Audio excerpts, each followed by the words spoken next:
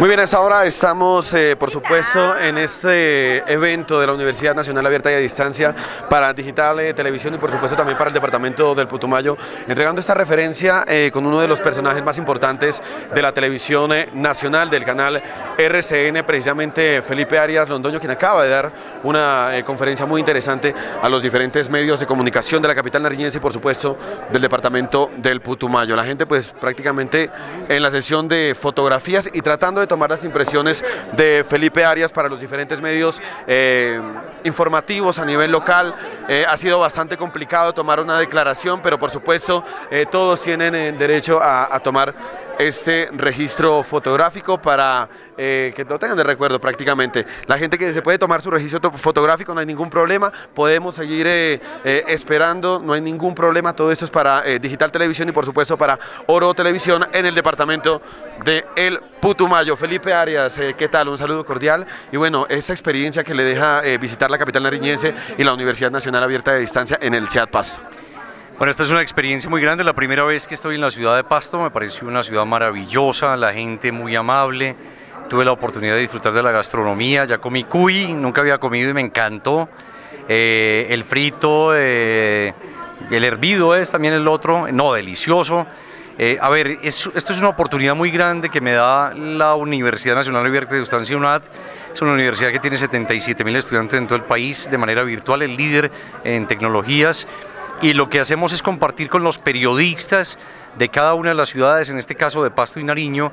Eh, vemos que ha venido gente de Putumayo y agradecemos mucho toda esta presencia, compartiendo durante algún rato acerca de qué debemos hacer nosotros mejor en nuestra profesión, cómo cubrir emergencias, cómo ser mejores voceros, cómo ser mejores periodistas y yo lo que considero es que tenemos que ser en definitiva mejores personas para poder ser mejores profesionales. ¿Por qué inclinarse por lo comunitario y no por lo que se toma normalmente, política, amarillismo? Yo me cansé de cubrir el tema económico, internacional y política y lo que creía que debía hacer yo y realizarme yo como profesional era estar siempre de parte de la comunidad. Me parece que nosotros como periodistas debemos servir de puentes, de puente entre las autoridades y la comunidad para que se resuelvan los problemas.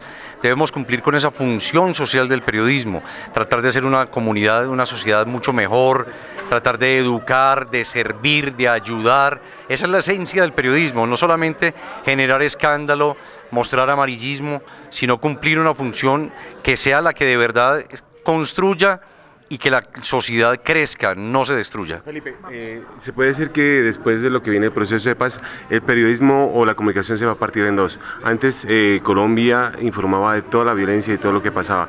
¿Qué viene de aquí para los nuevos periodistas eh, al enfrentar un postconflicto?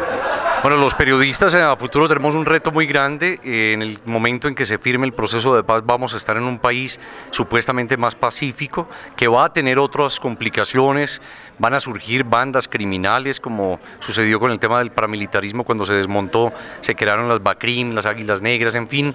Seguramente vamos a ver también un resurgir de eh, organizaciones criminales minoritarias, pequeñas, aisladas, pero en definitiva vamos a dejar de contar con grupos guerrilleros eh, y ya no tanto con grupos paramilitares armados y oficialmente eh, creados. Creo yo que tenemos que aprender nosotros como periodistas a empezar a mirar la información desde otro ángulo, no solamente el orden público, no solamente la guerra, sino también la construcción de una mejor sociedad. Eh, y ojalá también en los gobiernos como el de Colombia no destinaran tanto presupuesto a armamento, sino más a obras sociales, a construir una sociedad mejor, que es lo que los periodistas nosotros debemos contribuir. Felipe, ¿qué conoces la realidad de Nariño? Nariño es un departamento que tiene mucha pujanza, que también ha sido olvidado por parte del Estado a nivel nacional. Es un departamento con gente muy valiosa, gente muy importante. Es un departamento que crece, que progresa, veo una ciudad eh, Pasto que está creciendo vertiginosamente, que es importante por la proximidad a la frontera, un departamento con dificultades también como en municipios como Tumaco, que ha sido víctima del orden público y de la realidad colombiana, pero que se ha sobrepuesto debido a la grandeza de su gente.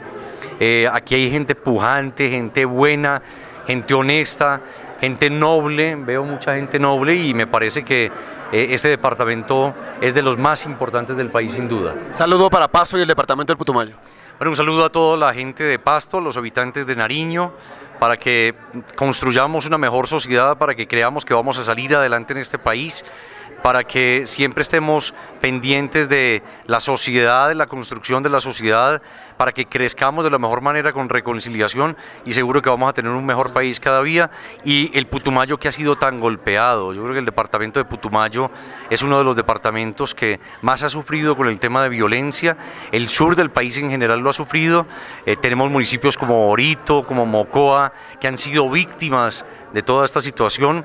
Un saludo muy grande para toda la gente del Putumayo porque en el Putumayo vemos gente que ha trabajado mucho por salir adelante, por hacer una mejor Colombia, pero que lamentablemente han también sido víctimas de la violencia y del olvido de un Estado que de verdad necesita mucha más presencia en esa zona. El Putumayo es de gente grande y sabemos que se va a sobreponer a todas las dificultades. Mil gracias y un saludo para toda la gente de Putumayo. Muchas gracias. Entonces, Felipe Arias Londoño, eh, uno de los periodistas más reconocidos a nivel nacional, por supuesto, en esta información, en esta referencia informativa que entregamos para Digital Televisión aquí en la capital neriñese y para el municipio de Orito, para Oro Televisión, por supuesto, con la cámara de mi amigo Mauricio. Este reportaje de Miguel Ángel Villarreal informa.